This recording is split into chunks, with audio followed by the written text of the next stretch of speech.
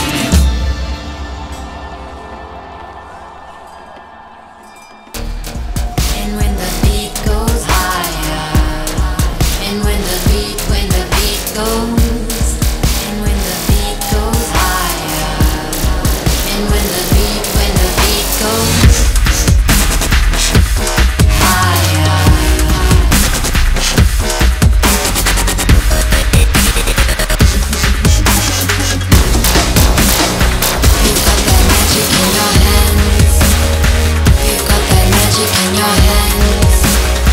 You've got that magic in your hands.